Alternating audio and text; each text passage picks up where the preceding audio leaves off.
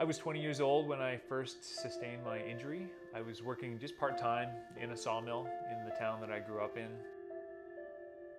Uh, it was before morning coffee break. I'd only been on shift for a couple hours and I, I don't know exactly what happened, but I got my hand caught in a hydraulic chop saw and it took off my four fingers. Um,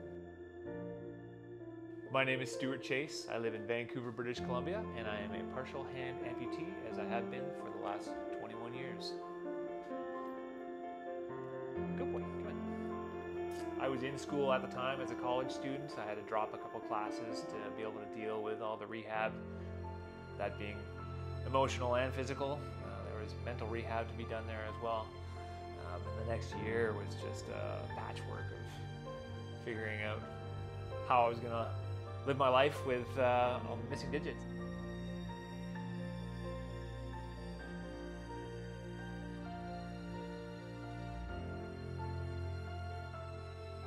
There was some initial prosthetic work that was done a few months after the injury when uh, things had healed up well enough to be able to entertain that idea. And initially when I went to look at prosthetics, I ended up with a bunch of prosthetics that are just basic curbs that help me do specific singular functions, but nothing like what I have today. So the last 20 years has really looked like that. I've had a lot of different prosthetics that do singular things, but um, and ultimately, you know, you adapt.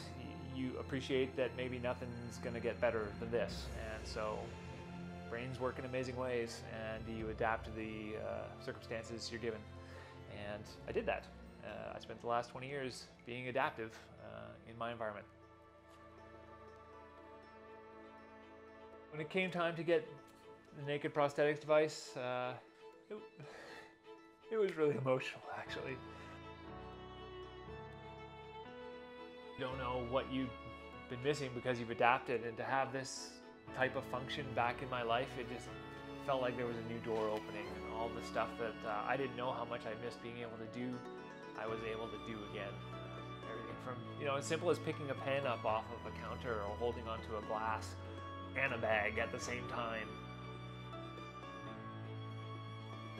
There's no shortage to the day-to-day -day activities that I could tell you about this prosthetic has uh, allowed me to do. Walking the dog in the morning, I can do that with a leash in hand and a travel mug of coffee in this hand, which has just been awesome. I think one of the most impactful things that the Naked Prosthetic device has brought back to my life is just the return to everyday things that I could do with both hands. And whether that's picking up a cup of coffee or holding my daughter's hand, which is just the most natural thing in the world, that's been the greatest impact